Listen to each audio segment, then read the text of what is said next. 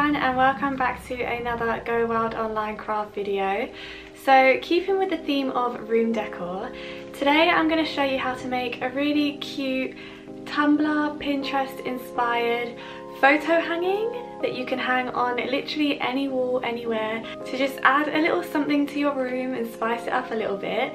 So all the equipment that you're going to need is some sellotape or some blue tack or some hooks. It depends how all out you want to go with the hanging but I'm just going to attach mine to the wall with some sellotape. Fingers crossed it works.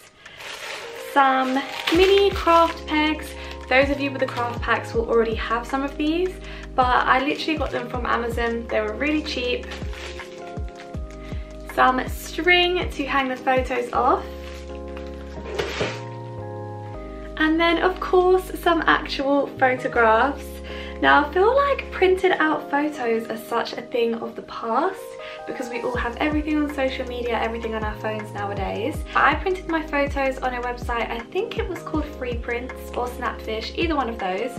Um, but you can literally print off a whole bunch of photos for super, super cheap directly from your phone. So I'd really recommend doing it from one of those websites. Alternatively, you can just print them out of your printer at home with some photo paper if you have a printer but these ones do come out really good quality. So I'm just going to sift through these and pick out some of my favourites and then we can get to hanging. Okay, so here on my bed I've laid out some of the pictures that I want to use. I've got me and my friend Eliza, me and my friend Terea, a picture from New York when I went a couple years ago, my uni housemates, and me and my friend Malik. So the next step is just to lay out the string and position the photos nice and evenly across the string. Obviously leave a little room on each end of the string to attach the tape to before you put it on the wall. But I'm just gonna peg these on. I'm gonna use, I think, two pegs per picture just to make sure they're nice and secure.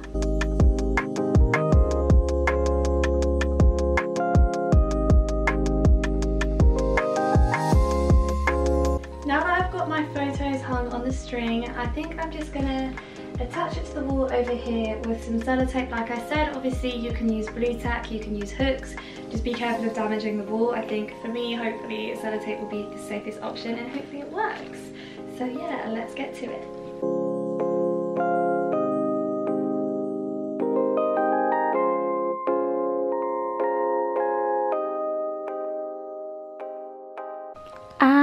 there you have it. I think it adds such a nice touch to this wall that otherwise is clearly very plain. And it was super easy to do really inexpensive and I'm obsessed. So yeah if you guys make one of these make sure to send in some pictures. And thank you for watching.